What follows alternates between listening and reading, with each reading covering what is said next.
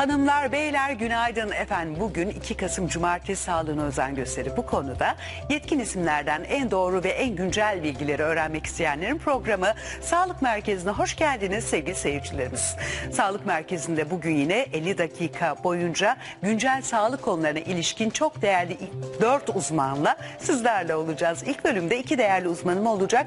Efendim ağız diş sağlığı konuşacağız. Sağlıklı gülüşün sırrını konuşacağız. Sevgili seyircilerimiz implant konuşacağız ve özellikle çene kemiğinde erime olanlara uygulanan box tekniği konuşacağız ve yanı sıra sistemik hastalıkları olan mesela şeker hastalarına implant uygulanabilir mi? Bütün bunları ağız, diş ve çene cerrahisi uzmanı Doktor Nihat Tanper ve diş hekimi Cemile Yavuz'la konuşacağız.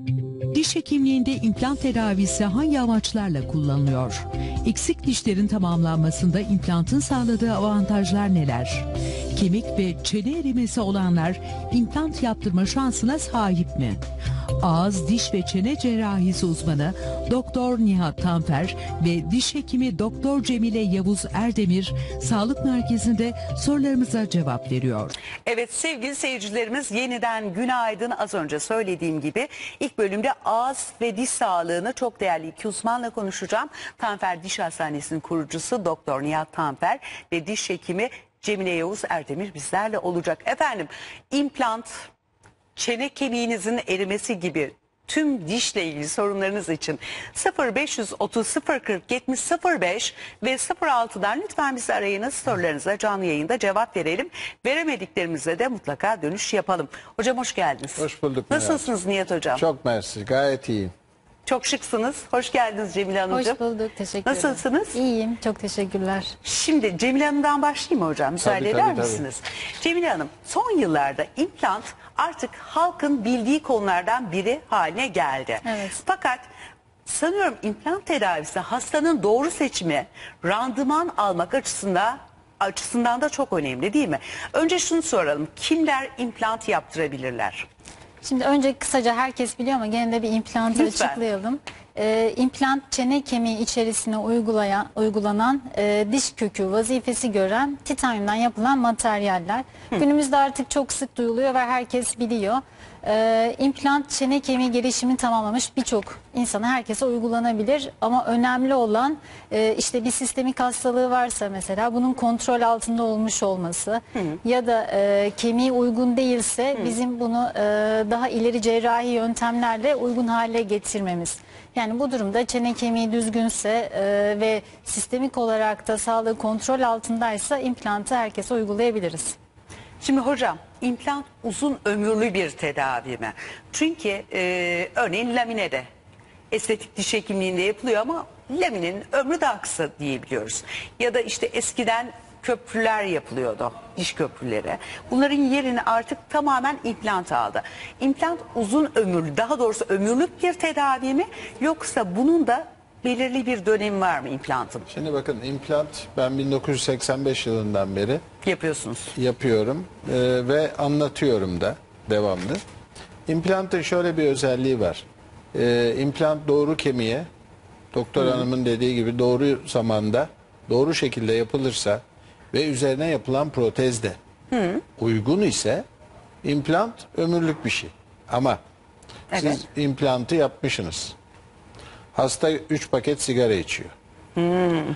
Ve yaptığınız implantın sonuçlarını istediğiniz gibi alamayacağınıza inanıp bunu hastaya söylüyorsunuz. Hayır diyor hasta ben vazgeçmem sigara içmeye devam edeceğim.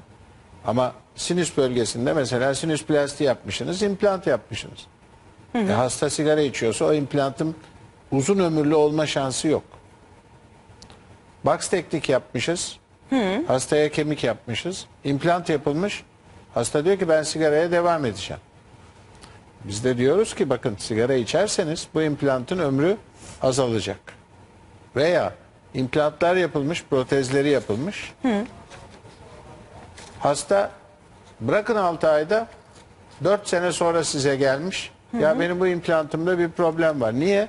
E, hiç bir kere bile kontrol ettirmemiş. Bir kere bile temizlik yaptırmamış.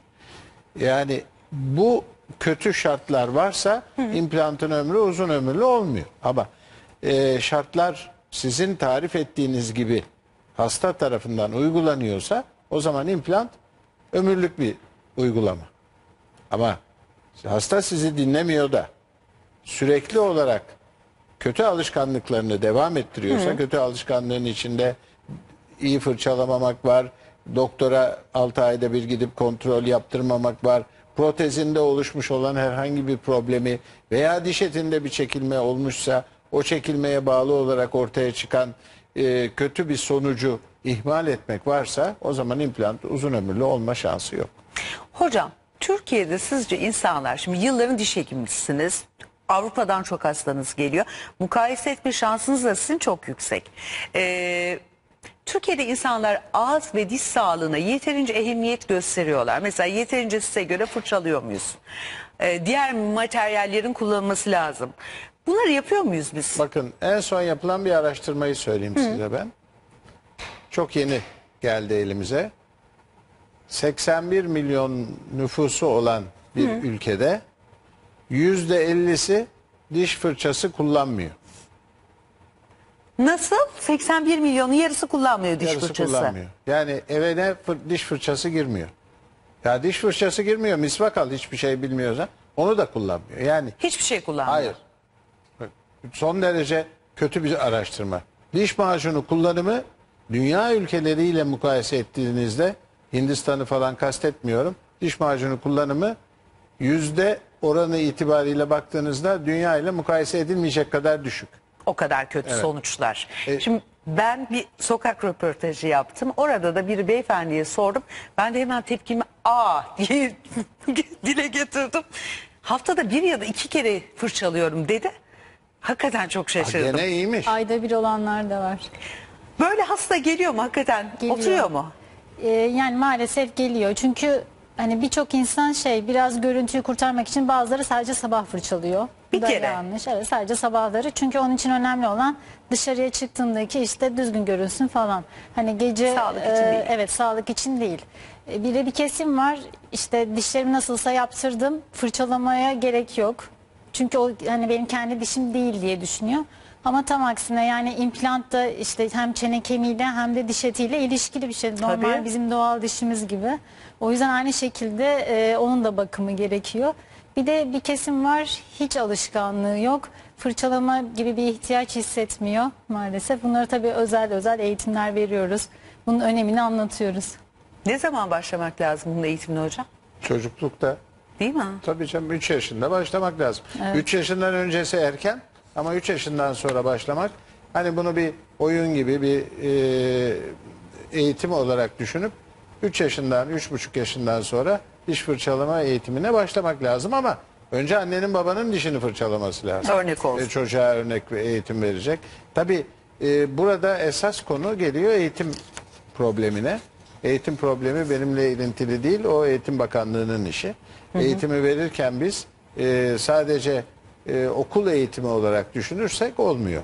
Bence eğitim sağlıkla beraber. Kesinlikle. Eskiden bizim zamanımızda sağlık kolları vardı. O sağlık kolları anlatırdı falan. Şimdi bunların hepsi ortadan kalktı.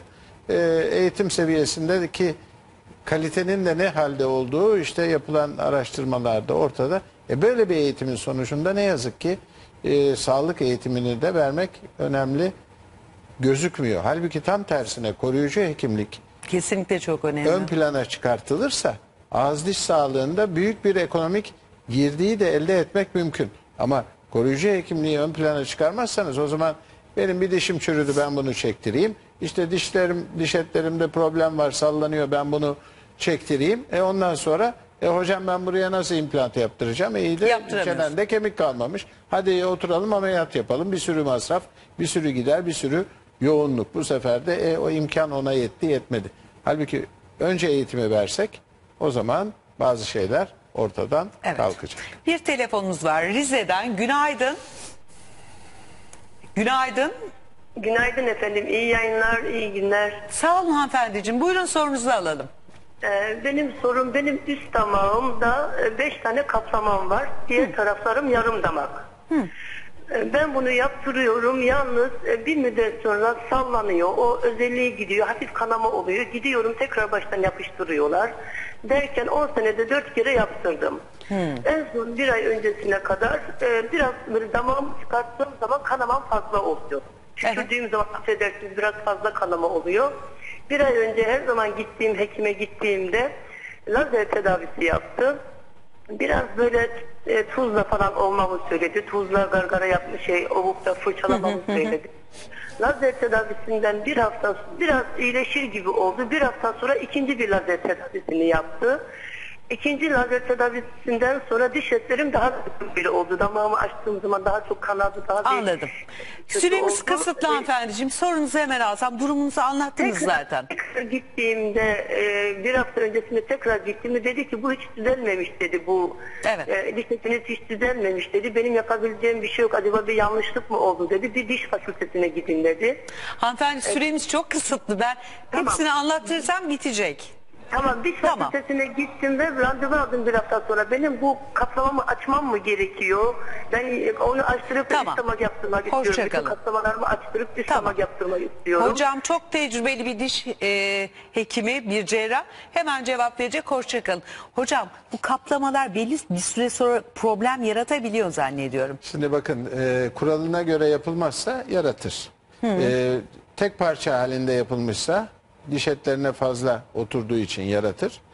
Eskiden ağırlıklı olarak metal porselen alaşımları yani metalin üstüne porselen Yapılıyordu. yapılıyordu. Kullanılan metal malzemesi sert bir malzeme olduğu için krom kobalt alaşımı diş etlerinde iritasyon yapar. O da kanamalara sebebiyet verir. E bir de yapılan protezlerin uyumuna bakmak lazım. Onun için hastamızın biraz daha uzmanlığının fazla olduğu bir yere gitmesinde fayda var. E, e, Üniversite hastanesi olabilir, bir cerrah olabilir. Belli ki protez sistematiğinde planlamasında bir hata var. Hocam şunu ben de merak ediyorum. Eskiden e, total protezler vardı. Damak Hala var. Ha, şimdi böyle total protezi olan sonradan bunu restore edip daha rahat kullanmak için implant yaptırabiliyor mu? Tabii. Yapılabiliyor mu bu? İmplant yapılabiliyor ama e, şimdi implant yapmadan önce e, hastayı iyi bir şekilde muayene etmek lazım. Bu sadece ağız içi muayenesi değil bir e, röntgen hatta tomografi yani üç boyutlu olarak çene kemiğinin incelenmesi gerekiyor. Çünkü özellikle uzun süre bu takıp çıkarmalı protez kullanan hastalarda kemik kayıpları daha çok oluyor. Öyle mi? Ee, evet. Çünkü sadece kemikten ve dokudan destek alarak çiğnemenizi gerçekleştiriyorsunuz. Bu da rezorpsiyonlara sebebiyet veriyor. Ee, o yüzden mutlaka bir tomografi çekilip çene kemiğinin e, kalınlığına e, ya da boyutsal olarak durumunun incelenmesi lazım. Ee, yapılacak implantlar ona göre planlanmalı. Eğer çene kemiği müsaitse zaten implant yapmak rahat ama ee, eğer kemik kaybımız çok olmuşsa o zaman mutlaka daha ileri cerrahi tekniklere başvurmamız gerekiyor. Kemiği implant için uygun hale getirmemiz lazım.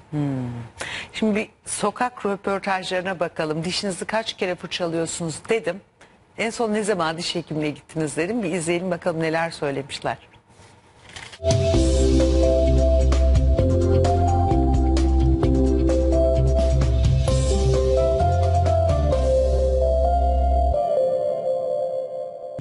son ne zaman diş hekimine göründünüz? 20 gün bir ay anca oldu yani. Neden? Dişlerimi yaptırdım, çektirdim. 3 tane diş yaptırdım. Peki dişinizi düzenli fırçalayıp bakımını yapar mısınız? Düzenli yapmıyoruz da arada bir yapıyoruz. Arada bir deyince haftada iki sefer yapıyoruz. Banyoya gittiğimde duş aldığımda dişlerimi fırçalarım. En son ne zaman diş hekimine gittiniz? Şimdi geldim şimdi. Niye gittiniz? Dol, doldurmadan. Dol, dişimi doldurdum. Dişlerinizi düzenli fırçalar mısınız? Evet. Günde kaç kez? Üç. Diş ipi kullanıyor musunuz? Yok. Hiç. Peki en son diş hekimine ne zaman gittiniz? Vallahi bir sene oldu. Yalan söylemeyeyim. Bir yıl oldu. Niçin gitmiştiniz? Öyle diş etlerimde bir hafif kanama gibi bir şey olmuştu. Onun için gittim. Artı ben tek böbrekli olduğum için biraz daha sağlığıma dikkat etmem lazım. Peki implant nedir siz biliyor musunuz implant hakkında bir şey? İmplant şu e, son bu e, diş ameliyatı yapılıyor. İşte içine demirleri yerleştiriyor. Ondan sonra belli bir süre sonra Dişleri üzerine oturtuyor. Güzel bir şey o. Kullanışlar. Kullanışı güzel bir şeymiş. Günde bir defa fırçalıyorum. Ama Hiç dişçiye gittin mi diş hekimine? aynen. Zaman? Ee, ortodontiye geçen iki sene önce diş teli taktırmak için. Ee, taktırdım şu an özgüvenli gülüşler.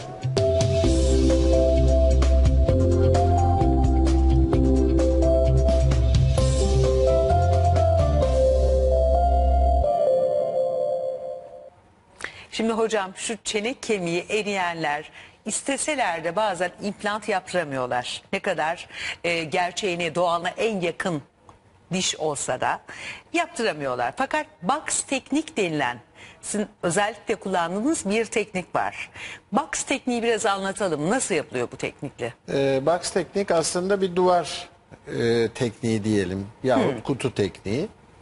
O eksik olan kemiğin sağından ve solundan yani dil tarafından veya yanak tarafından veya üst çenede damak veya e, yanak tarafından polilaktik asit materyalleri kullanarak yapılan bir uygulama. Şu an ekranda da görünüyor DSF'lerde. Peki bu uygulama her hasta için geçerli mi? Her eriyen çene Ee, kemiği. Özellikle şurası eriyor zaten. Orası Azı veya dişler. üst çene. Ha burada da mı oluyor? Tabii canım olmaz veya ön tarafta hastanın ön dişlerinde de veya tamamında erimiş oluyor. Ee, ağırlıklı olarak hastalar belirli bir süre geç, e, doktor hanımın dediği gibi girip çıkmalı protez kullanıyorsa bir kere orada kemik kaybı çok fazla oluyor veya diş eti hastalığı geçirmiş periodontal hastalıklardan sonra ihmal etmiş dişler sallanmış sallanınca kemik de beraber eriyor. O erimenin sonucunda implant yapılacak bir kemik kalmıyor. Kalmıyor. O zaman bu tip bir yönteme başvuruyoruz. Ee, böyle bir yöntemde belirli kuralları var. İşte hastanın sigara kullanmaması gibi, e, hastanın beslenmesine dikkat etmesi gibi gibi gibi gibi bir sürü kural var. Bu operasyon yapıldıktan 6 ay sonra da implant yapma şansına hastaya sahip oluyoruz. Ee, peki bu operasyon ameliyathanede mi yapılıyor? Bu Genel operasyon anestezi nasıl bir ameliyathanede ameliyathane? yapılıyor. Genel anestezi altında yapılıyor çoğunlukla ama lokal anestezi altında yaptığımız vakalar da var. Var. Ufak bölgelerse bunlar. Lokal anestezi altında da yapıyoruz. Hastanın biraz da tercihine bağlı. Bazı hastalarımızın e, diş hekimi ve cerrahi fobisi fazla olduğunda o zaman genel anesteziyi tercih ediyoruz. Hastanede yaptığımızda açık söyleyeyim hasta da rahat oluyor biz de rahat oluyoruz. Çünkü genel anestezi altında oldu mu hastaya istediğiniz gibi istediğiniz şekilde istediğiniz sürede rahat çalışma imkanınız var. Hasta bir şey duymuyor. Zaten ertesi günde çıkıyor gidiyor hayatına devam ediyor. Peki hocam oradaki o boşluk ya da üst tarafta greft dokuyu nereden alıyorsunuz? Kemik e, Kendi vücudundan. Hayır hayır vücudundan almıyoruz. Nasıl? Biz kemik grefleri kullanıyoruz. Tamam. Kemik grefleri de belirli fabrikaların e, yurt dışında ürettiği yabancı menşeli insan kaynaklı veya sentetik kemik grefleri. Bazı vakalarda bunları mix ediyoruz, karıştırıyoruz. insan kaynaklı ve şeyle e, sentetik kemikle. Artık vakaya göre bunları tatbik ediyoruz. 6 aylık bir süresi var, bekliyoruz Evet. hastanın kendi alt çenesinde kalan kemikle bizim koyduğumuz PLA'lar, polilaktik asitler ve e, kemik grefleri birbirine entegre oluyor, yapışıyor. Ondan sonra da implantlarını yapıyoruz. O 6 ay boyunca diş Dişsiz kalıyor. hiç dişi olmuyor mu? Sıfır. Ne yazık ki öyle. Çünkü onun üzerine bir basınç getiremiyoruz. Olmaması Geçici lazım. diş takamıyoruz ki oradaki e, kalsifikasyon düzgün ve sağlıklı bir şekilde olsun. Bazı vakalarda çok hastanın sosyal şartları gereği dişli olması gerekiyorsa imediyat protezleri geçici implantlarla beraber hastaya tatbik ediyoruz, yapıyoruz. Yaptığımız öyle vakalar var. Aa ben hiç dişsiz kalamam. İşte üçüncü evliliğimi yapmayı düşünüyorum. Onun için dişsiz kalamam diyenler var. Kulakları çınlasın buradan hastamıza. öyle? mesaj- Olmaz mı? Üçüncü evlilik için. Evet. Hmm, iyiymiş bu Üçüncüyü güzel. yapacağım hocam ben dişsiz kalamam dedi. Mecburen ona geçici e, implantlar yapıp ağzına sabit Peki te- protezleri şimdi yaptı. oradan da şöyle bir soru da geldi aklıma. Hani tevellüt çok eski oldu mu yapılabiliyor mu? Yok yani tevellütle ilgili değil bu gençlerde de var. Tamam maşallah. hayır ama üçüncü Oralara evlilik. girmeyelim Hocam hiç. bir ömre üç evlilik sığdırıyor. Yok hayır Allah'ın hakkı üç diyorlar zaten. Ahmet Bey hattımızdaymış. Ahmet Bey günaydın. Günaydınlar Meral Hanım. Buyurun, yayınlar. sorunuzu Çok alalım. Buyurun. Enerjiksiniz efendim programınız da çok iyi yani. Sağ olun buyurun. Hani sorum benim şuydu efendim ben daha önce diş hekimine gittiğimde dolgular yapıldı, kanal tedavileri yapıldı. Tamam. O an sanki belli olmamış gibi yeniden gittiğim işte efendim 6 ay sonra yeniden kanal tedavisi dolgu yapılıyor. O anda diyorum ki muayene yapılırken onlar belli olmuyor mu? Ayrıyetten kanal tedavisi yapıldı. O böylece ağrıyor.